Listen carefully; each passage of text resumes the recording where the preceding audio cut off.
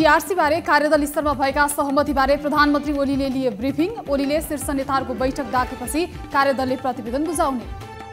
नेपाल संस्कृत विश्वविद्यालय केन्द्रीय आयुर्वेद क्याम्पसमा नेवी सङ्घका उपसभापतिमाथि अखिल क्रान्तिकारीका नेताबाट खुकुरी प्रहार कारवाही माग्दै आन्दोलनमा नेवी सङ्घ। विद्युतको बक्यौता उठाउन राष्ट्रिय स्वतन्त्र पार्टीको सरकारसँग माग बक्यौता असुल नगरे आफूहरू मौन नबस्ने रासपा सांसद मनिष शाहको चेतावनी। धरानका मेयर हर्क साम्फाङलाई झड्का धरानमा वृद्धि गरिएको खानेपानीको महसुल कार्यान्वयन नगर्न खानेपानी सरसफाई सेवा महसुल निर्धारण आयोगको निर्देशन। विद्युत प्राधिकरणका दुई सदस्यको बर्खास्तीप्रति माओवादी केन्द्रको आपत्ति सरकारले देशमा अटोक्रेसी चलाउन खोजेको आशंका व्यक्त लेखा समितिको सभापति प्रतिपक्षलाई दिन माग। कर्णाली प्रदेशका मुख्यमन्त्री एमढाल कडेलले पाए विश्वासको मत मुख्यमन्त्री कडेललाई तेइस सांसदले विश्वासको मत दिँदा चौध जनाले गरे विपक्षमा मतदान।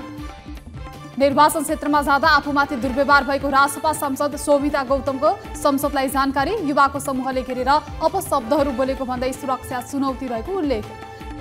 नेपाल भारत सीमा स्थलमा कडाई गर्न गृहमन्त्री रमेश लेखको निर्देशन। बङ्गलादेशमा भएको राजनीतिक घटनाक्रमसँगै त्यसले नेपालमा पार्ने असरबारे समीक्षा। बङ्गलादेशमा रहेका नेपाली विद्यार्थीलाई सुरक्षित रहन दूतावासको सूचना। नेपाल फर्किन चाहने नेपालीहरूलाई राजदूतावाससँग समन्वय गरेर मात्र यात्रा गर्न आग्रह। नेपाली काङ्ग्रेसका सभापति शेरबहादुर देउवाद्वारा सैतिस विभागका प्रमुख मनोनित पार्टीका दुई समूहबाट प्रतिनिधित्व हुने गरी विभागका प्रमुख तोकियो। शेयर बजारमा सोझा जनतालाई ठग्न खोजेको सांसद डाक्टर अमरेश कुमार सिंहको आरोप कृत्रिम तरिकाले शेयरको भाव बढाइएको भन्दै कारवाही गर्न माग। जनतालाई अझ बढी अधिकार सम्पन्न बनाउने गरी संविधान संशोधन गर्न सकिने माओवादीका अध्यक्ष प्रचण्डको भनाई उत्पीडित जाति क्षेत्र र समुदायलाई प्राथमिकता दिनुपर्ने धारणा। सुदूरपश्चिममा एकै पटकमा मन्त्री परिषदलाई पूर्णता काङ्ग्रेसबाट दुई मन्त्री र दुई राज्य मन्त्री एमालेबाट तीन मन्त्री र एक राज्य मन्त्री र नाउपाबाट एकजना मन्त्री नियुक्त। पशुपति आर्यघाट र स्वयम्भू घाटमा दाउराको मूल्य समान गर्न काङ्ग्रेस सचेतक सुशीला थिङको माग सरकारले मूल्य तोक्ने विषयमा विभेद गरेको आरोप। वैदेशिक रोजगार विभागद्वारा इजरायलमा केयर गिभरका लागि आवेदन दिएकाहरूमध्ये तीन हजार चार सय एकसठी जनाको आवेदन सदर जसमा एक हजार आठ सय त्रिसठी पुरुष र एक हजार पाँच सय अन्ठानब्बे महिला। गुल्मीको सत्यवती र छत्रकोट गाउँपालिका जोड्ने बडीगाड खोलाको पक्की पुल प्रयोगविहीन पुलसँग जोडिएको सडक राम्रो नभएकाले पुल प्रयोगमा आउन सकेन। तेस्रो मुलुकका पर्यटकलाई गड्डा चौकी नाकाबाट भारत प्रवेश खुला आवागमन खुला भएपछि सातजना पर्यटक सो नाका भएर भारत प्रवेश। झापाको कमल गाउँपालिकामा शिक्षक तथा कर्मचारीलाई पार्टी सदस्यता दिन रोक शिक्षक र कर्मचारी राजनीतिक दलको सदस्य रहेमा पदमुक्त गरिने।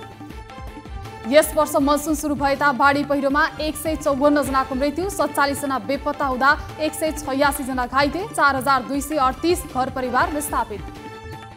देशका विभिन्न स्थानमा गैरातीदेखि वर्षा कोशी बागमती गण्डकी र लुम्बिनी प्रदेशका धेरै ठाउँमा भारी वर्षाको सम्भावना। सडक तथा हवाई यातायात प्रभावित हुन सक्ने।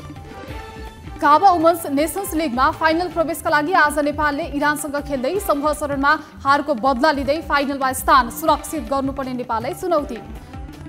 ऐतिहासिक एक सय मिटर दौडमा अमेरिकी धावक नोह लिसेसलाई दौड नौ दशमलव सात नौ सेकेन्डमा पुरा। अफ्रिकी देश मालीले युक्रेनसँग आफ्नो कुटनीतिक सम्बन्ध तोड्यो। अघिल्लो महिना अल्जेरियाको सीमा नजिक भएको लडाईँका क्रममा युक्रेनले हस्तक्षेप गरेको आरोप। र बङ्गलादेशकी पूर्व प्रधानमन्त्री खालिदा जियालाई रिहा गर्न राष्ट्रपति मोहम्मद शाहबुद्दिनको आदेश विद्यार्थी आन्दोलनका क्रममा पक्राउ परेका सबैलाई रिहा गरिनु